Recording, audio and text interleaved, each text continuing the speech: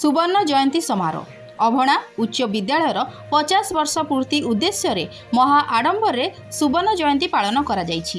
ଏହି ଅବସରରେ ଆନ୍ଧ୍ରପ୍ରଦେଶର ରାଜ୍ୟପାଳ ମାନନୀୟ ଶ୍ରୀଯୁକ୍ତ ବିଶ୍ୱଭୂଷଣ ହରିଚନ୍ଦନଙ୍କ ଉପସ୍ଥିତି ବହୁତ ଆନନ୍ଦଦାୟକ ହୋଇଥିଲା। ପୂର୍ବ କେନ୍ଦ୍ରମନ୍ତ୍ରୀ ମାନନୀୟ ଶ୍ରୀଯୁକ୍ତ ପ୍ରତାପ ଷଡ଼ଙ୍ଗୀ ମହୋଦୟଙ୍କ ଉପସ୍ଥିତି ସମସ୍ତଙ୍କୁ ଆନନ୍ଦ ପ୍ରଦାନ କରିଥିଲା।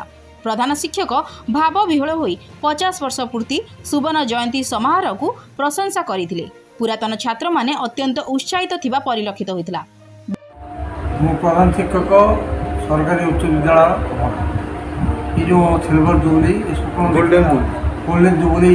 ଏ ସ୍ୱପ୍ନ ଆମେ ଦେଖିଥିଲୁ ବହୁ ପୂର୍ବରୁ।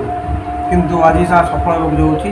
ସେଥିପାଇଁ ଏ ଆଧୁନିକ କମିଟି ବିଶେଷତଃ ସେମାନଙ୍କର ଅପ୍ରାଣ ଚେଷ୍ଟା ଏବଂ ଅପ୍ରାଣ ଉଦ୍ୟମ ବର୍ଷ ବର୍ଷ ଧରି ଆଜି ସଫଳ ଯାଉଛି ଏହି ସ- ଅବସରରେ ମୁଁ ସେମାନଙ୍କୁ ଧନ୍ୟବାଦ ଦେଉଛି ଏବଂ ମୁଁ ମଧ୍ୟ ଗର୍ବ କରୁଛି ଯେ ଏଭଳି ଗୋଟେ ଅନୁଷ୍ଠାନରେ ମୁଁ ଅଠର ବର୍ଷ ଧରି ସହକାରୀ ଶିକ୍ଷକ କା- କାର୍ଯ୍ୟ କଲି ଆଉ ତିନି ବର୍ଷ ଧରି ପ୍ରଧାନ ଶିକ୍ଷକ ଭାବରେ କାର୍ଯ୍ୟ କରି ମୁଁ ଧନ୍ୟ ଏବଂ ଗର୍ବିତ ମନେ କରୁଛି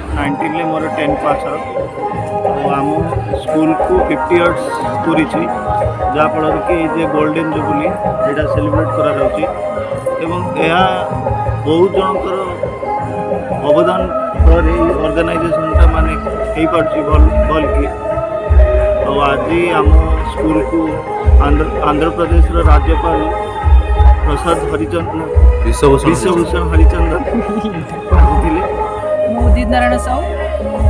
Two thousand nineteen ବେଚ୍ର pass out Agana high school Agana government ହାଇସ୍କୁଲରୁ ଏବଂ ମୋ ଘର ହେଉଛି ଦେବେନ୍ଦ୍ରପୁର ଅଗଣା ଏବଂ ଏହି ସୁବର୍ଣ୍ଣ ଆମ ବିଦ୍ୟାଳୟର ପଚାଶତମ ସୁବର୍ଣ୍ଣ ପଚାଶତମ ପୂର୍ତ୍ତି ଅଭିମୁଖେ ସୁବର୍ଣ୍ଣ ଜୟନ୍ତୀ ପାଳନ ହୋଇଥିବାରୁ ଆମକୁ ସମସ୍ତଙ୍କୁ ବହୁତ ଖୁସି ଅନୁଭବ ହେଉଛି ଆଉ ବହୁତ ପୁରାତନ ଛାତ୍ରଛାତ୍ରୀଙ୍କର ବହୁତ କଣ୍ଟ୍ରିବ୍ୟୁସନ୍ ଏହି ଅ- ଅନୁଷ୍ଠାନରେ ରହିଅଛି। ଏବଂ ଏଥିରେ ତେଲେଙ୍ଗା ଆନ୍ଧ୍ରପ୍ରଦେଶର ରାଜ୍ୟପାଳ ମହାଶୟ ବିଶ୍ୱଭୂଷଣ ହରିଚନ୍ଦନ ସେ ଆସିଥିଲେ ଏବଂ ଇନାଗୁରେସନ୍ ପାଇଁ ଆସିଥିଲେ। ବାହାନଗା ବାଲେଶ୍ୱରରୁ ଶରତ ମହାଳିକଙ୍କ ରିପୋର୍ଟ ଜନ ଅଧିକାର ଲାଇଭ୍